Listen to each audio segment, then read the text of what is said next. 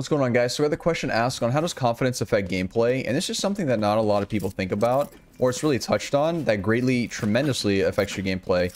Um, and, you know, I even noticed it when, when I'm coaching people. They'll, they'll take like an aggressive peek, they'll die, and then for the rest of the half or the rest of the game even, uh, they play very scared and very passive, very timid. They're scared to take peeks. Um, they do this half jiggle. They they don't commit to anything, and they end up getting bombarded, dying, respecting their teammates or the enemy too much, uh, and they take advantage of that.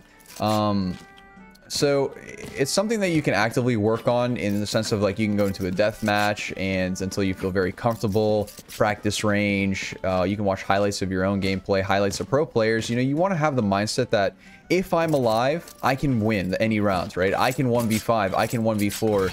Um, and I usually get that kind of mindset when I'm watching good players clutch, you know, and actually perform these actions. I want to mimic that, right? Like, I want to be that person that does that.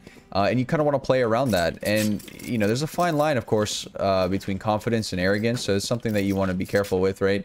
You don't want to bring anyone on your team down, especially, uh, or put anyone down in, the process. So um, and, and again, you know, you like, let's say that you've been peeking A main every single round. You don't want to keep doing that if they know that you're doing it. That, that, that would be like, in the sense that you know you're you're taking confidence to a level that doesn't benefit you whatsoever. So just something to think about next time you're hopping into a ranked game. If you want anything else covered, let me know in the comments. Other than that, guys, peace. Have a good one.